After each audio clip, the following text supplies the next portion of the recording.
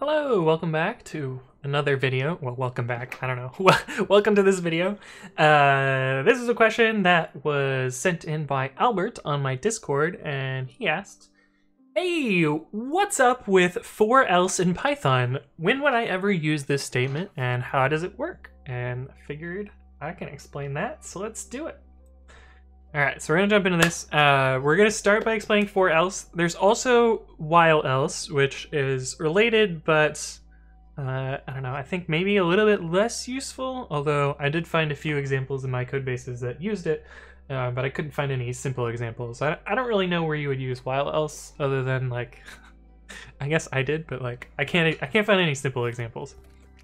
Anyway, uh, we'll talk about for else. Uh, there's also try else, but I think that's a completely separate discussion. So we'll probably make another video for that instead.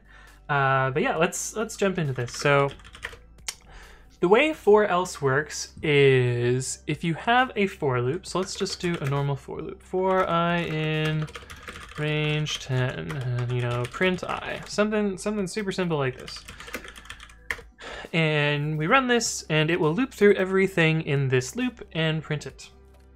Now Python, and this is this is a feature that I haven't seen in any other programming language, although I'm sure there's some others that do this as well.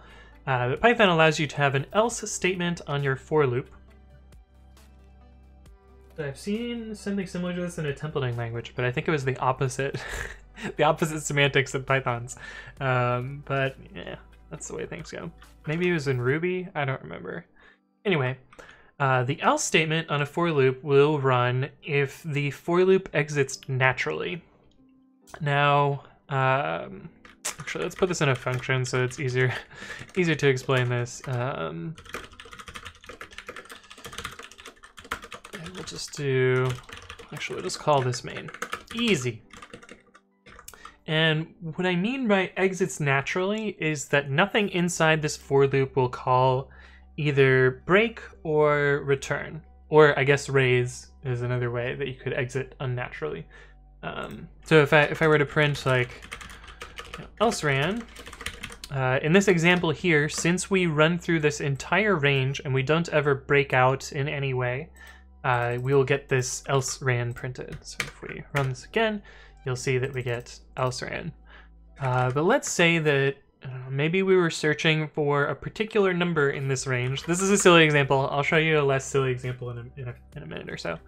Um, but say we were searching like if i is equal to 5, uh, I found 5. Maybe maybe this is what we were trying to do. Like we were just trying to find a particular needle inside this this haystack. Of course, this is an ordered haystack, so it's a little bit it's it's a very very silly example. But uh, let's let's say we're doing that, uh, and you'll notice here that when the break runs, that prevents the else from running. Uh, you'll also notice if I did, you know, return one instead of there, um, that will also prevent the else from running. Although this one's a little bit different and in in this case you know the else is actually doing nothing because you can see like even if I didn't have for else it would still print like that. Also the same for raise uh, raise assertion error oh no's something like that. Uh, and you'll see like again we don't print this. But also again if we were to you know not do for else it would still work the same way but anyway that's how for else works. Uh, now let's talk about some ways that you might use this. Uh, and again, like you can, in most cases, you can rewrite a for else as having a separate state variable. Um, so like, let's take this example here where we had the for else version. Uh, so let's just copy this, uh, and this will keep the for else around so I can show you the comparison So that's the for else version, and this will be the not for else version. So you can say like broken equals false and set broken equal to true when we break here. And then instead of having this else here, we could say if not broken, then we would print the, the else ran. You can see if we run this now, uh, it found five, and so it, it broke out. But if we didn't find five, so let's say we change this to 50, you'll see that it, it's, it evaluates essentially the same as the for else above. Now, uh, I would posit or argue that this code is a little bit easier to understand, and there are some cases where for else is unnecessary that I think for else is a, a little bit more readable, and we'll show some examples of that later. Um, but I think like you know having one fewer state variable, this this assignment, and then this separate branch uh, makes this slightly harder to read at a glance. Whereas if you understand for else, I think this is pretty straightforward what it's doing. Then again, like for else is not something you see in all programming languages, so you know it it might not be the easiest thing to see. So you know, judge for yourself. Talk talk amongst your team if they're comfortable with statements like this or whatever, and like you know decide on something that works for people. Or educate people. That's always a good thing too. Uh, but yeah, that's how for else works. While else is basically the same, uh, except it's a while loop instead of a for loop. And again, like the same condition holds. So if we had like, uh, you know, dev while else, um, man, what is a, I don't know, i equals zero while i is less than 10. This is a contrived example because I couldn't find any realistic examples for this. Um, while i is less than 10, print i, i plus plus 1, uh, while else ran. Just call this in main, while else. And we'll put a little divider just so that we can see what's uh, what's going on in each place. Oops, that's not what I want to do. Uh, so you can see here that this while condition eventually became true without this loop breaking unnaturally, and that resulted in the else block running. But again, if we you know take this same I found five thing and put it into here. Uh, do we print that first or after? Yeah, we printed it first. Okay, we'll make it the same at least. Um, you can see here that because of this break statement, the else block of the while loop does not run. So they both work the same. I find many fewer applications for this, but then again, you know, I, I find that for loops are much more useful than while loops in Python anyway. Okay, so um, the the like canonical example or like the easiest to understand example of for else that I found that was interesting uh, was trying to implement the index method on strings and the or maybe not the index the find method One of them raises an exception, one of them returns negative one.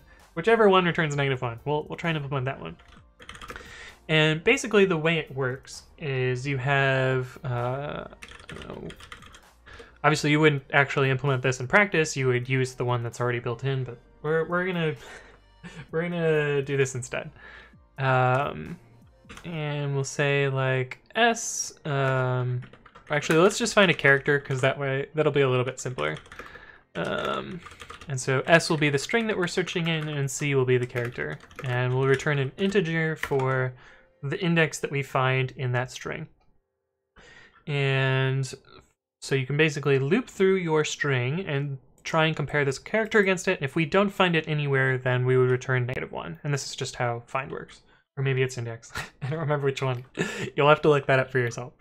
Um, and so the way that I would implement this is for s character in s, uh, you could also do something like for i in range len of s, and then like if si is equal to c, and do it like that. Um, but I, I, usually find if you're writing for i in range len, uh, like this is usually a smell in Python and usually means that you're doing something wrong. Um, but let's uh, let's do it the right way. Uh, and if c is equal to sc, then uh, idx equals i, although we need to... Dang it, this gets more complicated. I forgot about enumerate. Um, so enumerate is a special built-in that changes an iterable into an index number and then the thing you would already iterate over. Uh, basically, it gives you an index here. And if we found the index, we can set that equal to i. Otherwise, if we if we run through the entire string and don't find any character that matches the one we're looking for, we want the index to be negative one. And then we can return that.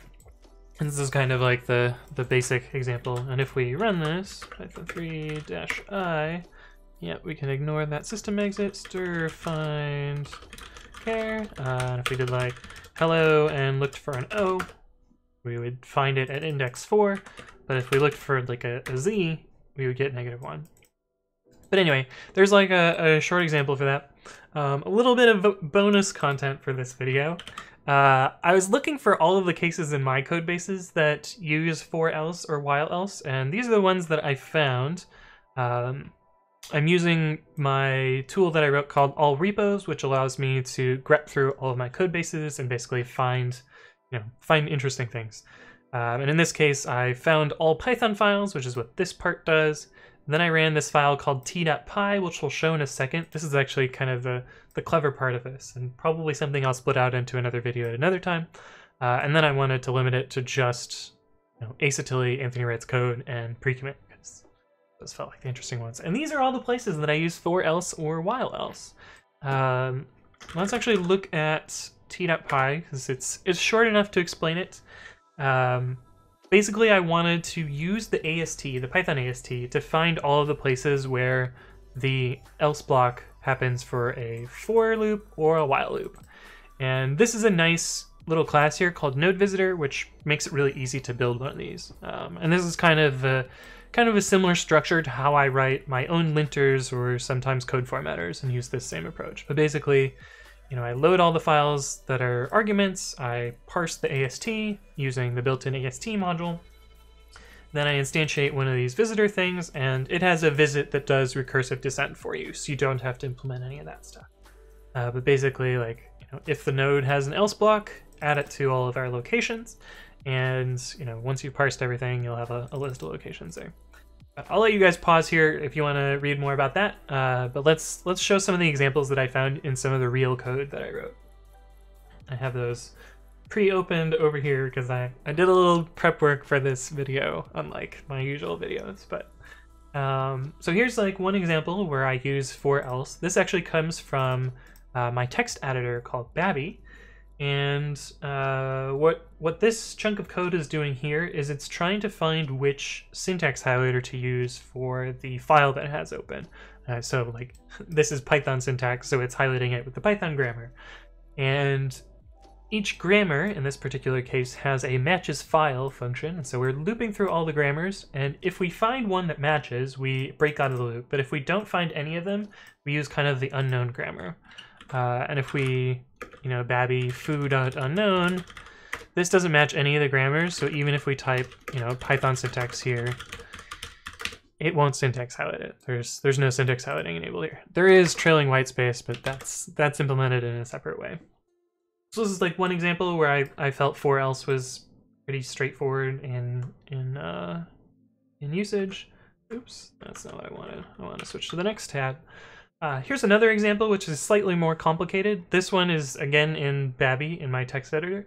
This one is figuring out how line endings works uh, for the particular file that's open. So it's trying to find if there's Windows new lines or normal new lines.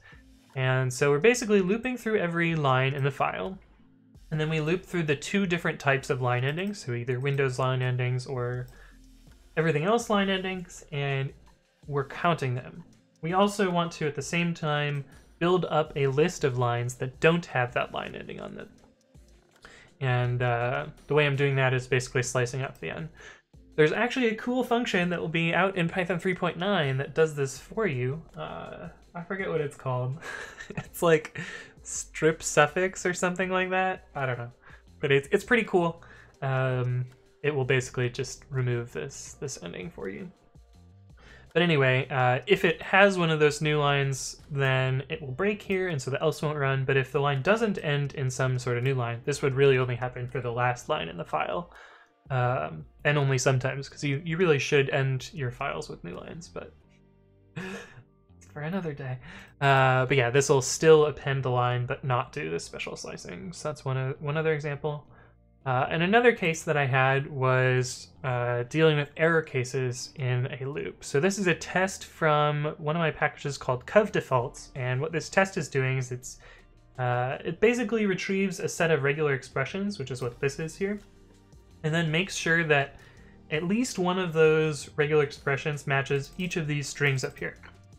Uh, and this is a parameterized test, so each of these lines is actually a separate test case that gets automatically expanded by this decorator here. And my for else loop is basically saying, you know, loop through all of the regular expressions, then loop through all the lines in the source, and if any of them match, then break. Um, but if none of them match, it's an error, and so we should raise an assertion error here. Now, of course, this is the same as this code here, um, but I felt that it was, you know, slightly more readable to use a for else. Anyway, those are some examples from my code. Hopefully this was a little eye-opening, and hopefully you have some newfound appreciation for the for else statement, or while else, although I don't know if you'll actually use that, but I really like this this uh, this for else statement, so hopefully you do too. Anyway, thank you for watching. If you guys have additional questions, you can either leave a comment below or show up at my Twitch stream or hit me up on Twitter or whatever you want to do. Uh, but yeah, thank you all for watching. Have a good one.